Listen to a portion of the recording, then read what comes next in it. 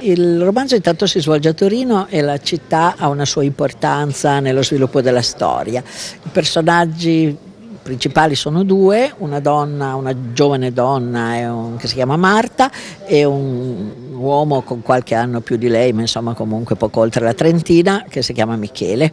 Si conoscono da bambini, poi si perdono di vista e si rincontrano dopo circa 30 anni, più o meno 25-30 anni e hanno un rapporto prima molto conflittuale che poi si conclude bene, però in mezzo c'è la storia delle loro famiglie, del loro vissuto in questi 25 anni di distanza.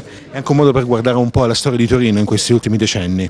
Sì, è un modo per ripercorrere, sia pure molto brevemente, la storia di Torino partendo addirittura da prima della nascita dei protagonisti negli ultimi 40 anni, insomma, da questa città che aveva appena assorbito e quindi superato, se vogliamo, il trauma, perché in effetti era stato un trauma dell'immigrazione molto massiccia.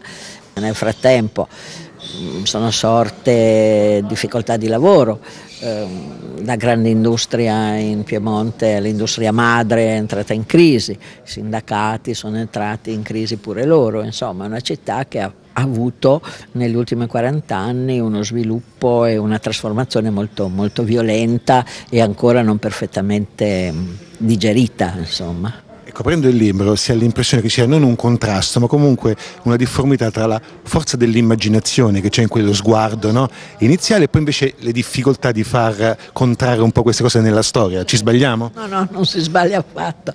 E cioè c'è un interesse, come dire, visivo cioè c'è una, una, persona che in qualche modo interessa, affascina, però poi la difficoltà di entrare in comunicazione, credo che sia in qualche modo la difficoltà che oggi tutti noi abbiamo o molti di noi hanno a entrare davvero in contatto con gli altri, forse perché questo mondo virtuale ci ha un po' sbalestrati rispetto a una comunicazione più diretta, una comunicazione fisica sostanzialmente.